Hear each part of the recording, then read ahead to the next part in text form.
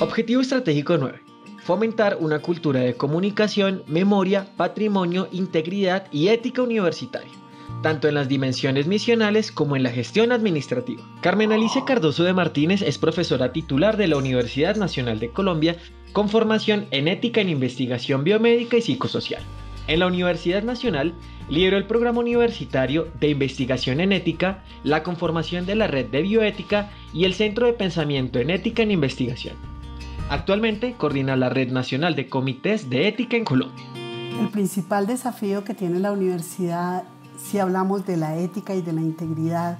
indudablemente se relaciona con mantener esa confianza que durante más de 150 años ha tenido la comunidad en una institución que es pública, que es del Estado y que garantiza permanentemente que ese ejercicio que hace en la formación, en la investigación, en la extensión, tiene un carácter no solamente de excelencia en lo técnico, sino un gran compromiso moral con la comunidad,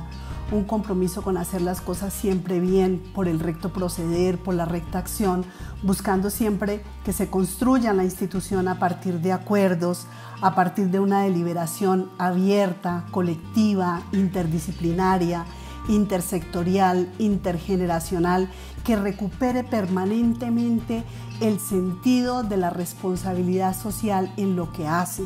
en la manera como aborda los problemas nacionales y cómo le da soluciones al país, a la comunidad, a cada una de las personas que de manera esperanzadora se involucran en esta institución. Esto compete, por lo tanto, no solamente a los profesores, a los estudiantes, al personal administrativo, compete realmente a toda la comunidad que constituye un colectivo que está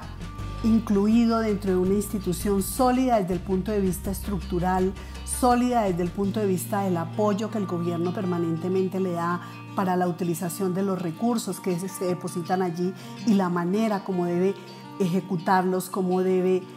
promover el desarrollo del conocimiento nuevo hacia unas fronteras que garanticen que esas minusvalías o esas fragilidades de la sociedad puedan irse superando en la medida en que va avanzando el conocimiento. La Universidad Nacional tiene una responsabilidad permanente en la generación de conocimiento que no solamente sea excelente desde el punto de vista técnico, sino que además contribuya a mejorar la calidad de vida de las personas, que contribuya al desarrollo de esos proyectos vitales de las personas que promueva más allá del bienestar el bien ser de los seres humanos, de estos colombianos que tienen la esperanza puesta en la universidad pública como una institución transparente, una institución excelente que siempre está de cara al país y preocupado por los problemas nacionales responder de manera íntegra, proba, correcta, solidaria, siempre centrada en esos valores morales que reflejan un ejercicio científico, académico permanente que garantiza que esa confianza que se ha tenido en la institución durante muchos años se mantenga como lo dije al principio.